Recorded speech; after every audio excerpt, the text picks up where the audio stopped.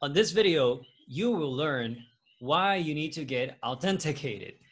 On this video, you will learn the dangers of two-factor authentication, the benefits of two-factor authentication, and what happens to people that feel comfortable with having basic security settings. And now, without any further ado, the dangers of two-factor authentication. Two-factor authentication can be a pain in the rear if you lose your phone or you can definitely get locked out. If you lose your access codes, you can get locked out too. If you lose your personal password, you can definitely get locked out. So even though it's very strong, it's a very strong deterrent against hackers, it can be so strong it can lock you out and make you lose a lot of time and money.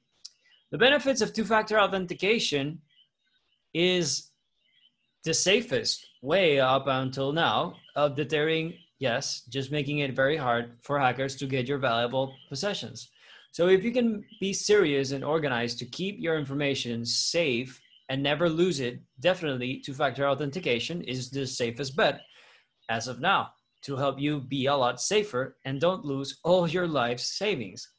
And what has happened to people that feel comfortable with having basic security settings? People have lost all their money and assets because of not having good cybersecurity.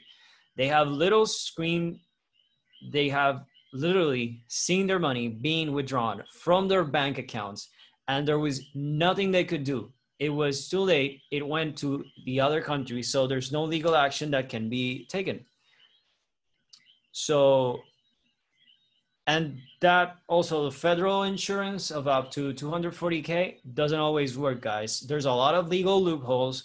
So in order to protect yourself it's very wise to have two-factor authentication and not the type that's just text message to your phone.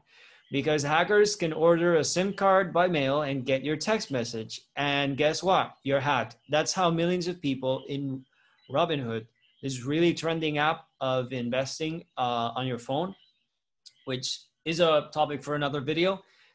A lot of people have lost all their life savings very recently during the pandemic, and there was nothing they could do about it. So avoid it at all cost.